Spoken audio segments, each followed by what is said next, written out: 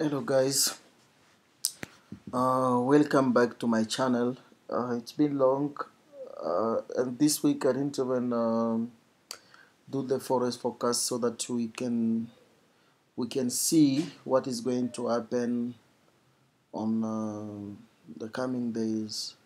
I was quite busy back testing the stuff. Then uh, today I wanna show something that um, always send people to the wrong side of the market. Then you see people, they'll try to buy very hard or try to sell hard, but in the wrong side of the market. So this is how there is uh, there is uh, things that you need to focus in the market for you not to go on the wrong side of the market. Try to understand on the phase where the market is and what is going to happen next. Then uh, you're not gonna have a problem uh, I'm just gonna check uh, USD CAD and also I'll go to USA 500 try to show you guys something also there. It's the same topic. It's called accumulation manipulation and distribution. So is is the things that always happen in front of our eyes but uh, sometimes we don't understand what is happening.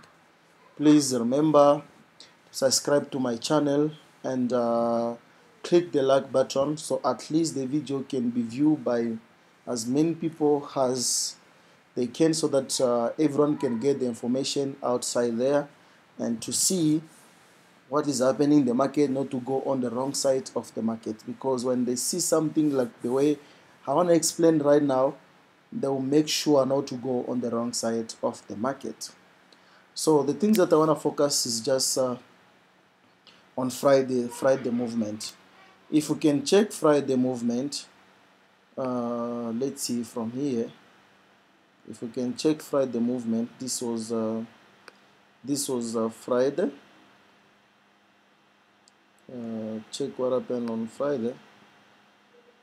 Um,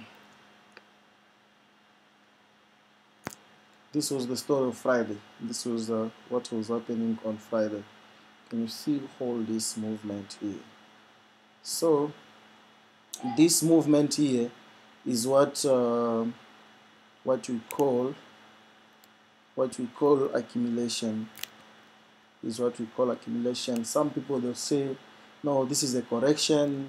Other people they say this is a sideways but this is accumulation. As you can check market is playing in one place the whole Friday then check what happened uh, when markets open.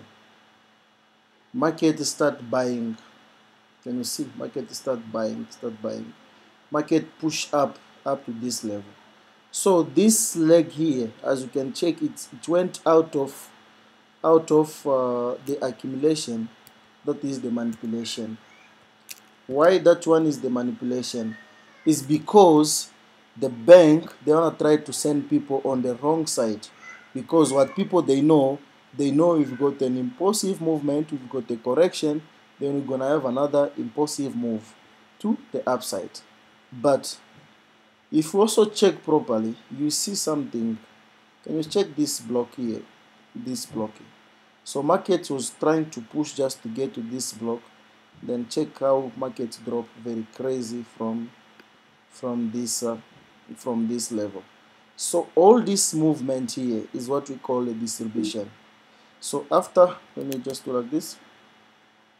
After the bank sends, like the big institution, they send the markets upward so that they can take all the buyer stop that was on this level. Now check what happened. Check how they distribute the markets. Boom. Then when markets sold what is going to be your focus again? Let's say you miss all this move. What is going to be your focus? This is how we need to apply our fibonacci. We look for 50 percent level. This is why we're going to place another uh, sell. Check. Our 50 percent level.